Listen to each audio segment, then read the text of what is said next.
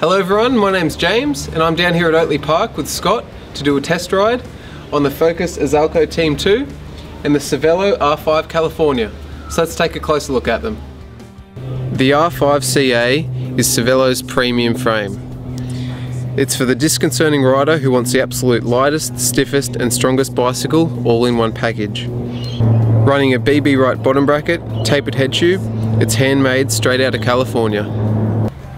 This bike is running a mechanical Dura-Ace group set, rotor cranks, Zipp 404 Firecrest wheels, and a 3T stem, bar and seat post combo.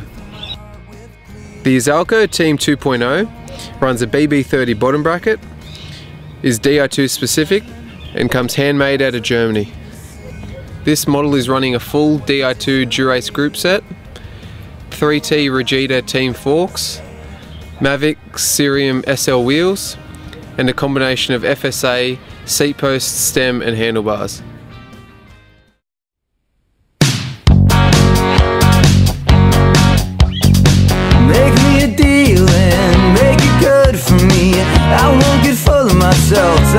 Afford to be.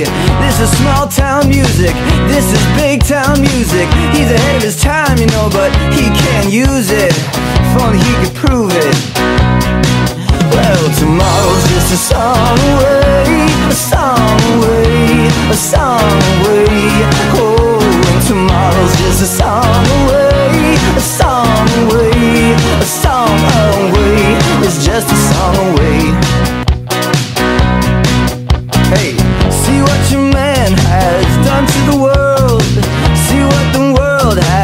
has to your man. You know I'm leaving you, you don't need me. Loving you wasn't always so easy. This is believe me music. This is forget me music. This is who could love me, you know. This ain't no Roxy music. This is new form music. This is old form music. This is I paid attention now, so this is prediction music. Oh, who could let me use it?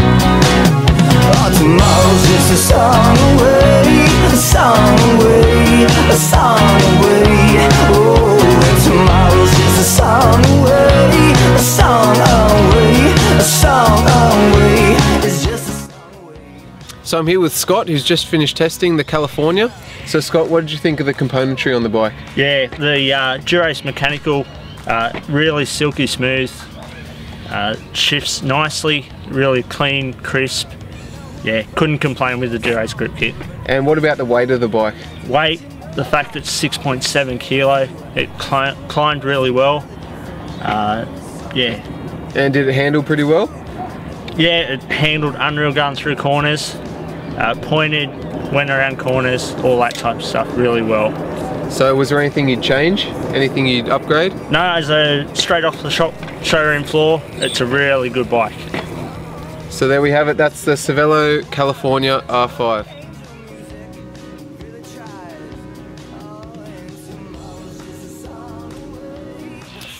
So Scott, the second bike you rode today was the Izalco Team 2.0.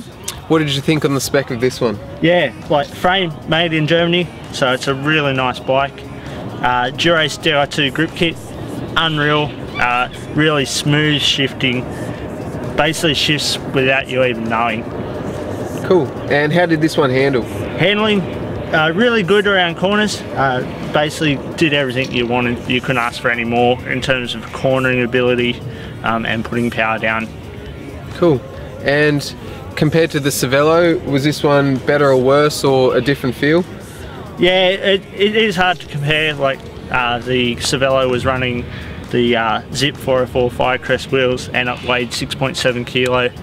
So, but overall, as a general package, this would be good for on the road um, as an everyday rider and a race machine. Sweet. So is there anything you'd change on the bike out of the box?